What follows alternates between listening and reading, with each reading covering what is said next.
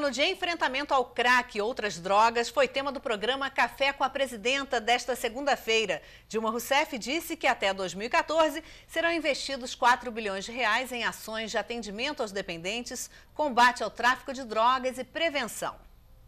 Vamos criar uma rede integrada de serviços e de ações para atuar em três frentes vamos garantir cuidado e tratamento para os dependentes químicos que precisam de acolhimento e apoio para vencer a dependência. Vamos reprimir duramente o tráfico de drogas e o crime organizado em todo o país. E vamos fazer um eficiente trabalho de prevenção e educação para evitar o consumo e o contato de nossas crianças e jovens com as drogas. O governo federal vai ampliar para 24 horas o atendimento em todos os 134 CAPs já existentes.